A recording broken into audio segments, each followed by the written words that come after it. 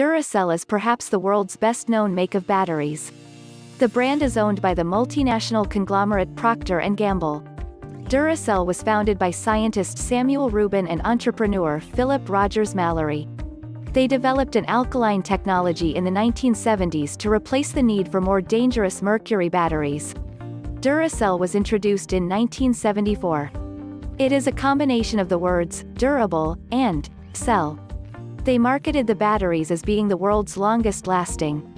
The company website says, as a brand, we realized that there were, and still are, many uses for batteries. And as technology advanced, the uses for batteries only increased. We quickly became the world's leading producer of high-performance alkaline batteries.